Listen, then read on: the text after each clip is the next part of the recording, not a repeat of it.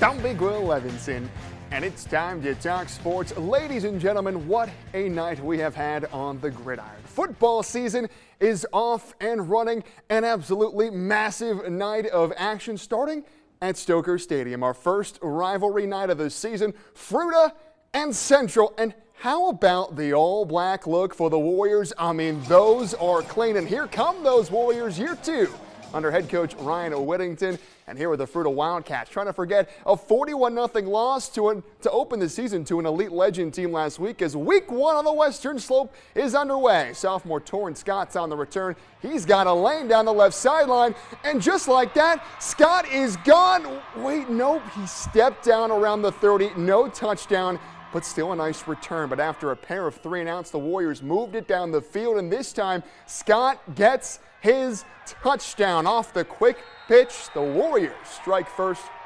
It's 6 0 Central.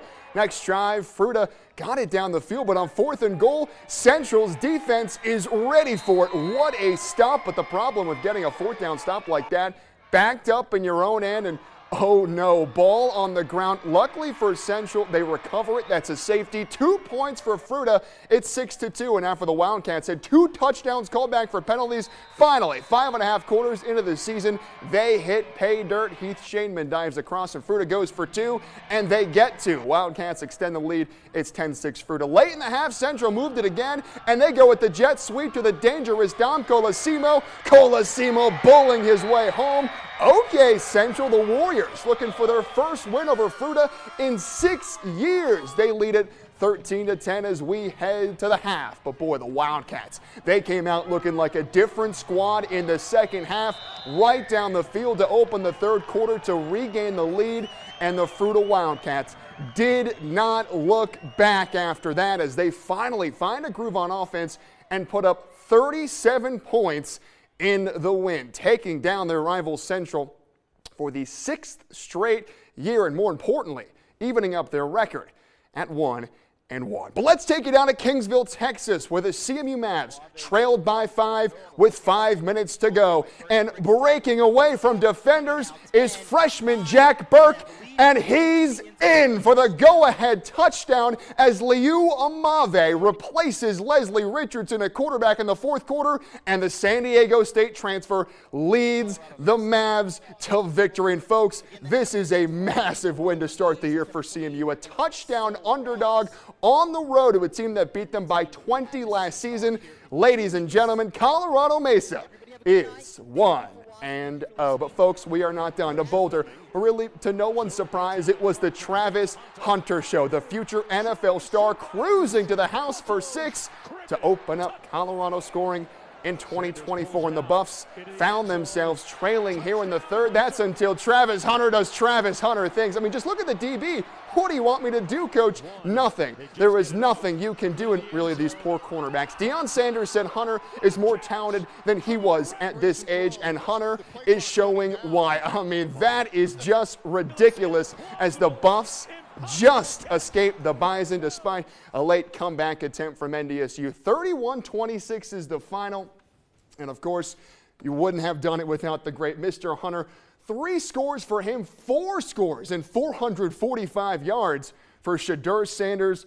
Buffs start the year 1 and oh. How about that? What a night of football. CMU gets the dub. CU gets the dub. Oh, that's all impressive. And Fruita, too. Uh, uh, good, congratulations, CMU, because they, they kind of took a beating last year to that team at home. At home, right. No, this was, they were underdogs coming in this game, and there was a lot of questions about the quarterback position. Is it Leslie Richardson? Is it Leo Amave? And Leslie starts the game. He plays the first three quarters, but they put in the San Diego State transfer. And what a performance. The guts to go down the field, score the touchdown, win the impressive. game. And they got some great stops. The defense, what a performance by the Mavericks defense tonight, making the plays and getting that big and win. their home opener is next week. Right? Home opener is next Saturday. Central Washington coming to town to open things up. Cannot wait for that one. Hoping for a great crowd at Stocker Stadium. On a Saturday. That's a Saturday. Much less. Yes. Uh, the Buffs defense needs a little help. It's what we saw last year. But, it's what we saw last year. But boy, they were uh, Shedeur and Travis. Two to connection. twelve. That's the whole season. It's just over and over. Shedeur to Travis rinse and repeat. You can't stop it. Josephine, I mean, you throw it up to that guy. Josephine couldn't shut up about it in the newsroom after watching that game. She was What can I say? I know it's the most. lots of offense, great catches, very impressive. They're going to be fun to watch. This is what it was last year, right? It's fun to watch football. You don't know what's going to happen. And when the defense isn't playing well, I mean, what do you do? Just throw it up to Travis Hunter and go win football games. Um, Right? Hey, they're telling us behind the scenes that we need to take a look at the forecast. I'm hearing the weather is going to be good tonight. I hope so. I certainly hope so. Let's Let's take a look at this. On Travis Hunter tonight, but fine. Weather. Uh, t- temperatures tonight, nice, clear. Uh, so it is looking like for the long term, super nice, clear, sunny skies, even into the late work week. touchdown?